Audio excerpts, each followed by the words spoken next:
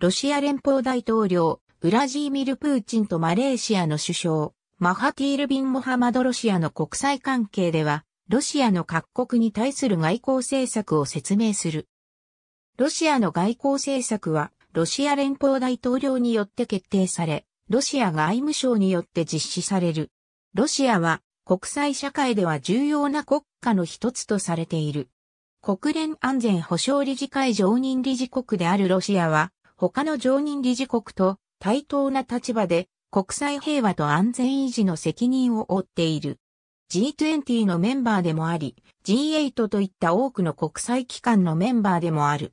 ロシアを中心に旧ソ連諸国で構成される独立国家共同体、ユーラシア経済共同体、集団安全保障条約、上海協力機構では特別な立場にいる。ロシアはベラルーシと共にベラルーシロシア連合国家を形成している。ロシアは193の国と地域と国交を結び、国連オブザーバーとも外交関係を結んでいる。国連非加盟国国連加盟国のうち、国交を結んでいない国国連加盟国のうち、国交を断絶した国アメリカは1933年にソ連を国家として承認した。1930年代、両国の関係は実利的であり、アメリカはソ連の工業化に大きく貢献した。1941年末、第二次世界大戦では、ソ連とアメリカは、ハンヒトラーという利害が一致し、連合国としてナチスドイツと戦った。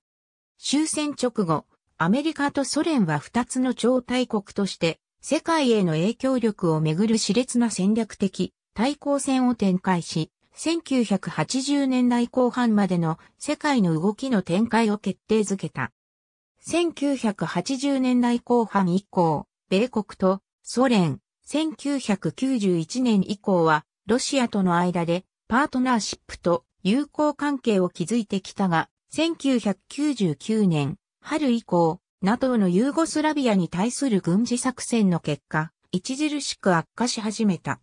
2014年のロシアのクリミア侵攻によるウクライナとの関係悪化などで、両国間での緊張が新たなステージを迎えた。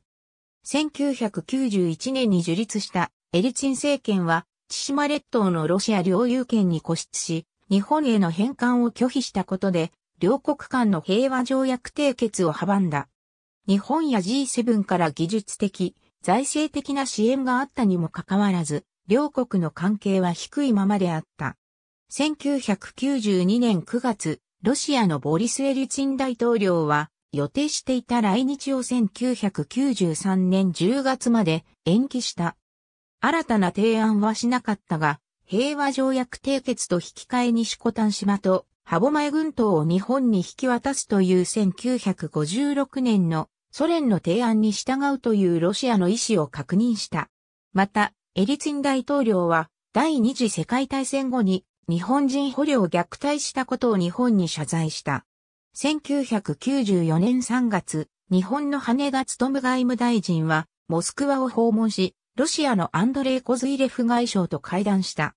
両国間に平和条約がないにもかかわらず、消費財の共同生産や極東の天然資源の共同経済開発などの分野で積極的な協力が行われている。また、ロシアと日本の間には、ビザなしの市民交流に関する協定があり、日本のすべての居住者が千島列島を訪問することや、日本の千島列島に居住するロシア人の訪問を規定している。2020年現在、ロシアと日本は両国間の平和条約締結に向けて積極的に交渉している。ファイ。ロシア外務省。2020年9月29日閲覧。ありがとうございます。